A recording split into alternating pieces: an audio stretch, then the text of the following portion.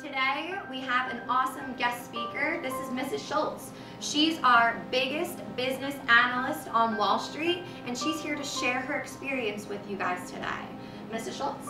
As a business analyst um, in the 21st century, my biggest piece of advice to you would be to stay dedicated to your work, but also stay true to who you are. And I believe that's how we will continue to improve our product and dominate the competition.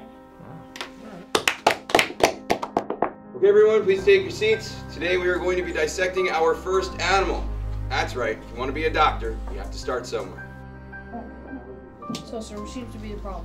Lately, I've uh, I've been lightheaded. Here, let's take a look. Computers are the future.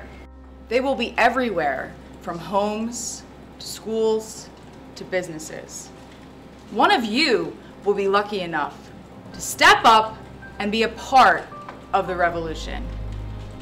Which one of you is going to step up and take the challenge?